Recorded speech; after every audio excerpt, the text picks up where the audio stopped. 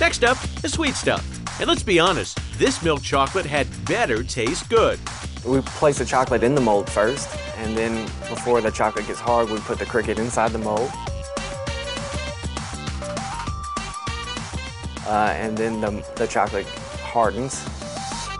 We have candy stores buy them as novelties, and we have a lot of teachers. It's a popular classroom thing.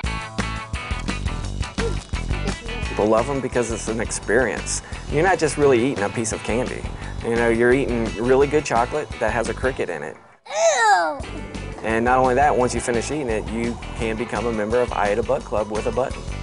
And there's only one question left now. Will you join the club?